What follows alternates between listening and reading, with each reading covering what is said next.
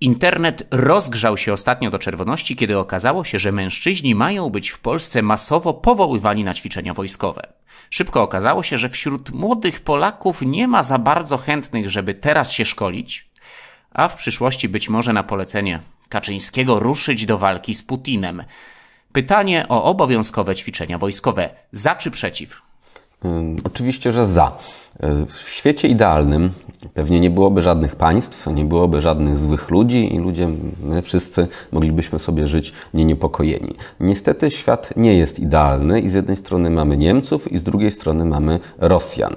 O ile Niemcom na razie wywoływanie żadnych wojen to w głowie nie siedzi, o tyle Rosjanie co i jakiś czas atakują któregoś ze swoich sąsiadów istnieje realne zagrożenie, że niedługo znajdziemy się w stanie wojny z Rosją.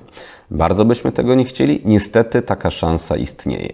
Teraz ludzie mówią, że mamy armię zawodową, w związku z czym to armia zawodowa powinna nas bronić. Oczywiście, że tak, powinniśmy mieć armię zawodową. Natomiast armia zawodowa potrzebuje rezerw, ponieważ niestety wojna ma to do siebie, że zużywa ludzi. Niektórzy giną, inni są ranni, inni są zmęczeni i trzeba ich zastąpić rezerwistami. Natomiast, żeby zawodowców zastąpić rezerwistami, to trzeba mieć przeszkolonych rezerwistów. I w trakcie wojny jest już za późno, żeby szkolić rezerwistów. Ich trzeba szkolić wcześniej, bo taki proces trochę trwa. No i ja bardzo bym nie chciał, żeby tak to wyglądało, ale niestety tak to wygląda. Jeżeli Polacy nie będą chcieli płacić na polską armię, jeżeli nie będą chcieli służyć w polskiej armii, to będą płacić na czyjąś armię i będą służyć w czyjejś armii. Tak niestety brutalnie wygląda rzeczywistość. W XVIII wieku Polacy nie chcieli płacić podatków na polską armię, nie chcieli służyć w polskiej armii, więc cały XIX rok, wiek służyli w armii rosyjskiej, austriackiej i niemieckiej. Na frontach I wojny światowej walczyło 3 miliony Polaków. Mimo, że nie było państwa polskiego, to 3 miliony Polaków walczyło, pół miliona z nich zginęło. Ale w armii znowu austriackiej, rosyjskiej oraz niemieckiej, bo nie było wtedy armii polskiej. Więc jeżeli ktoś twierdzi, że nie należy służyć w armii polskiej, to tym samym twierdzi, że chciałby, żeby jego dzieci czy wnuki służyły w armii rosyjskiej. To jest bardzo prosta konsekwencja takiego stanu rzeczy. I znowu, nie chciałbym, żeby tak było, niestety tak jest. I z tym coś musimy zrobić. Więc jeżeli nie chcemy służyć w armii rosyjskiej, no to niestety trzeba w polskiej. Więc te szkolenia są po prostu niezbędne, bo każda armia potrzebuje rezerwistów. Gdyby Ukraińcy nie mieli przeszkolonych rezerwistów, to wojna z Rosją bardzo dawno temu już by się skończyła, bo Ukraińcy nie mieliby się kim bronić. Na szczęście Ukraina od lat szkoliła rezerwistów i teraz ma armię i jest w stanie bronić się przed Rosją. I Polska również potrzebuje takiej armii.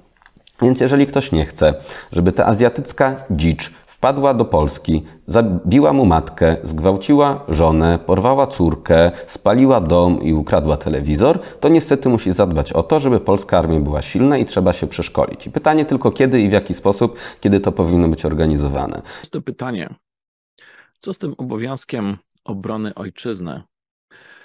No, powiem Wam w ten sposób. Kto broni ojczyznę? Ktoś, kto broni ojczyznę na przykład ktoś, kto jeździ na protesty, kto działa społecznie przeciwko złym decyzjom rządu. Taki człowiek broni ojczyzny.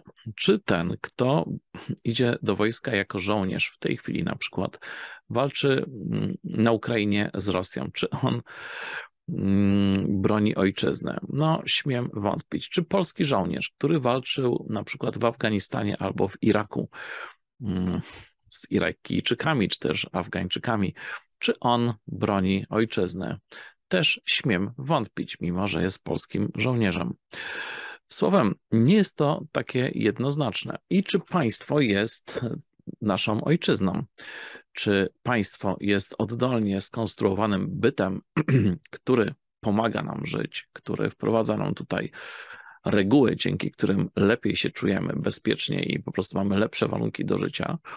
Czy też może jest odwrotnie, że państwo nas jedynie okrada i ogranicza?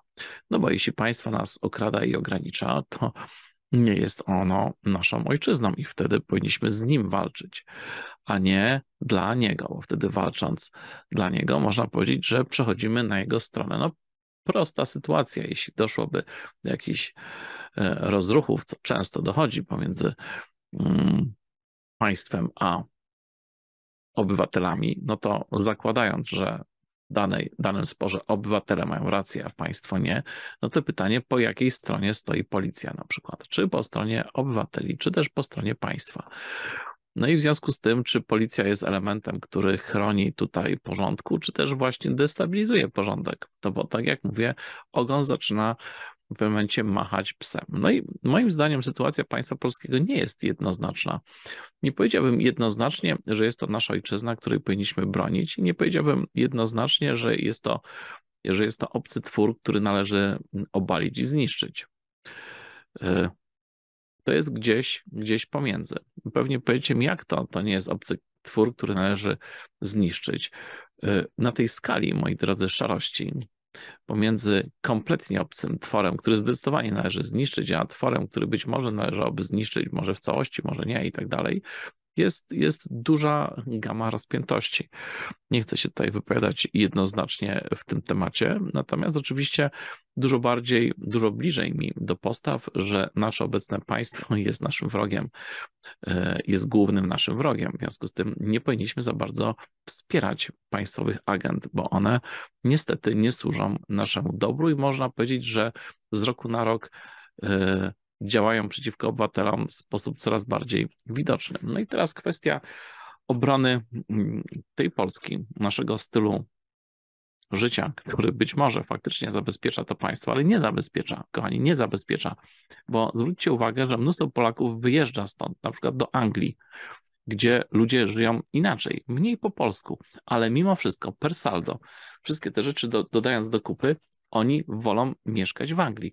Ludzie nawet wolą mieszkać w Niemczech, kochani, w innych tego rodzaju państwach, gdzie są traktowani jako obcy imigranci. W związku z tym sam fakt, że nie są, że są tam obcymi, y, no to już są pewne punkty ujemne oczywiście do osobowości, że tak powiem, a jednak ci ludzie stąd wyjeżdżają, szukając lepsz, lepiej zorganizowanych państw.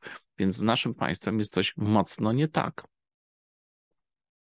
Słowem, dyplomacja, kochani.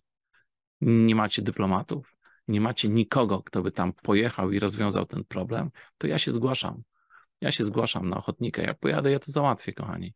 Załatwię wam jeszcze najtańsze ceny gazu i ropy, jakie tylko mogą być. Rozwiążę ten problem. I takich ludzi jak ja, którzy są w stanie rozwiązać ten problem, jest mnóstwo w Polsce. Tylko, że wy nie chcecie pokoju, wy chcecie wojny. I wmawiacie ludziom, że należy iść, bo obrona ojczyzny jest zaszczytnym obowiązkiem. Nie jest. Nie w tej formie. Nie pójście na obcą wojnę, która ma podpalić i zniszczyć Polskę. To nie jest zaszczytny obowiązek, to jest frajerstwo do sześcianu. Zaszczytnym obowiązkiem jest podejmowanie działań, które nas obronią przed tym szaleństwem. To jest zaszczytny obowiązek. I wielu z nas robi dużo, żeby żeby zrobić coś, żeby to szaleństwo powstrzymać. I to jest obrona ojczyzny, kochani. To, a nie cwaniakowanie z kałachem, czy z jakimś tam berylem, czy inną pukawką w ręku i udawanie, że będziemy się zaraz strzelać z, z dzikimi hordami ze wschodu, które przyszły tutaj gwałcić nasze kobiety. Co za bzdury. Nasze kobiety są gwałcone w niemieckich burdelach, jeśli tego nie wiecie, i w innych tego rodzaju rzeczach akurat ale nikt nie myśli o tym, żeby tutaj zrobić jakąś krucjatę. Mniejsza z tym. Tak czy inaczej, takie jest zdanie na ten temat.